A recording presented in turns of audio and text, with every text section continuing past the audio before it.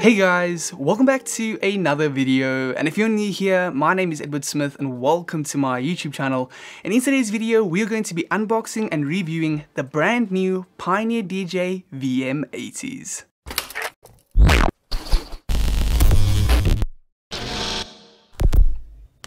So before we jump into things, I'd first like to thank Pioneer DJ for sending me these awesome studio monitors because as you guys know, I do quite a few comparisons and unboxing and reviews of studio monitors, but you don't always get the chance of unboxing a brand new pair of studio monitors that just got released into the market. So in this case, I'm going to be unboxing these Pioneer DJ VM80s. Last week, I did an unboxing and review of the Pioneer DJ VM50s, which is the smaller pair of studio monitors to the VM80s, which are also fantastic and also a video you should check out which I'll leave linked down in the description below. But that's enough of me talking. Let's jump into this video and see what these studio monitors are all about.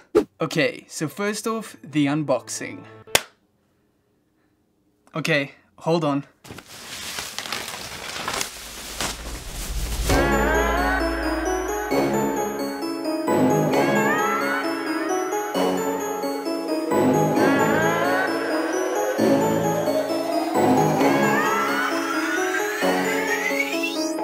So when you unbox these studio monitors, the first thing that you get is obviously the studio monitors themselves. You get the power cable to power them up and then you also get some paperwork that we never really look at but it does include some isolation pads that you can put underneath your studio monitor to help with any unwanted vibrations when listening to music and all those cool things.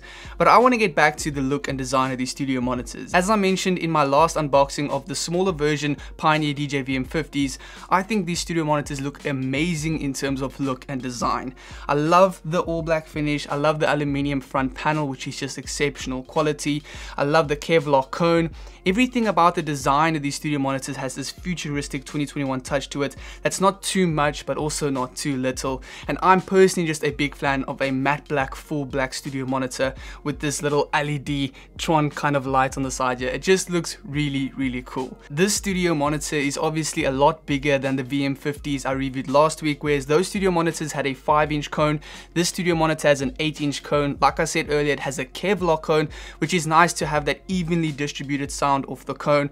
And it also has a one inch tweeter like the VM50. So with the studio monitor, you're getting a much bigger cone, which means you're getting a lot more low end, which is nice because with those other studio monitors, you'd probably like to add an additional sub or something like that to get that extra low end to get a nice balanced overall mix. But with these, you're not going to need a subwoofer at all because this 8 inch cone is nice and big and the low end that you're going to get with these are perfect for any home studio setup. Moving on to the back panel of the studio monitor, pretty much the exact same design as the VM50s, but we are getting a bigger bass reflex port here, which is again that Vortex bass reflex port, which claims to give a little bit more of a tighter and better bass response sounding bass than that of just a standard bass reflex port. So this whole design and this unique feature is really a cool thing that I think Pioneer DJ has done to stand out from the rest, which I definitely have to give them high marks for.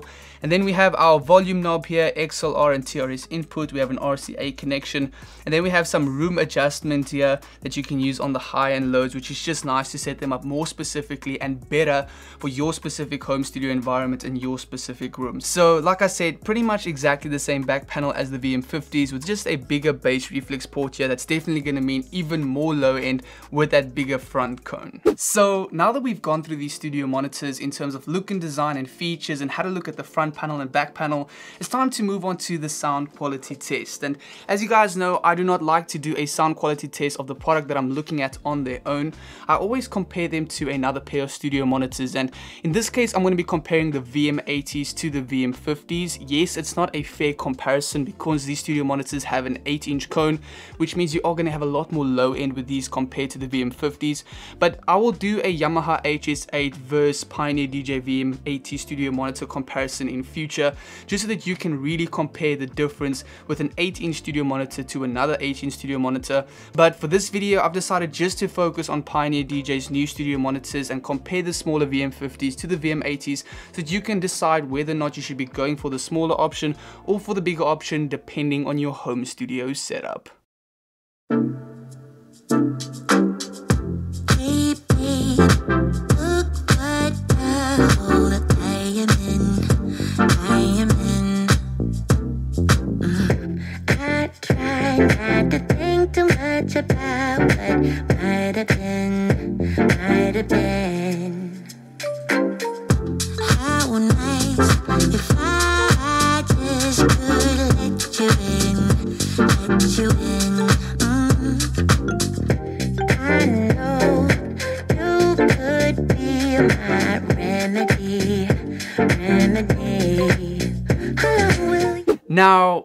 for my final take on these Pioneer DJ VM80s, I have to say that I'm a big fan. I really like the way these studio monitors sound, even though I did compare them to a smaller studio monitor, which isn't really fair, but overall they sound really, really good. I've been using my Yamaha HS8 in the back there for quite a while now, and I had to listen to these as well, and the quality is exceptional. You really, really can't tell that much of a difference at all, and you're definitely getting very good sound quality with these studio monitors, and for the price at around $290, they tick all the boxes that you're looking for in an 18-inch studio monitor. Firstly, they are not too expensive for the price and the size, and also not too cheap. And you're also getting a lot for the money that you're paying.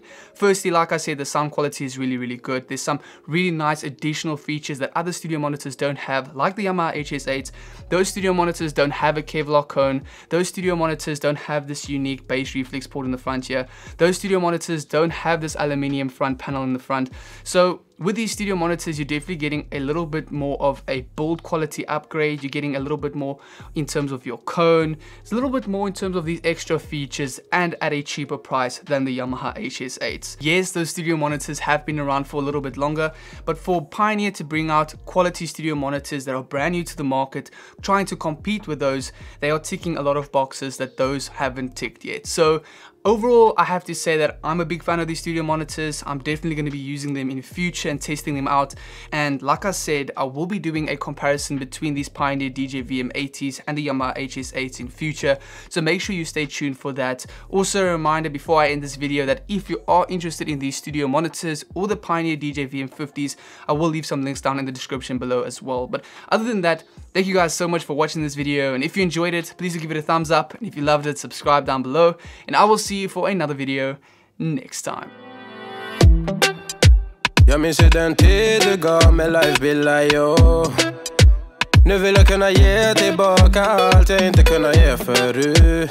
Det finns ju ingen annan där som kan stå här by my side, oh why Sättet du rör på det får mig att dö för dig baby. För de här yardis, yardis De vill ju bara dra ner oss. Men du är fett och vanlig på det jag lägger all min tid Jag vill ha dig, ha dig Du får mig känna safety. Ni kan nog leda baby. Och jag kommer aldrig ändra mig.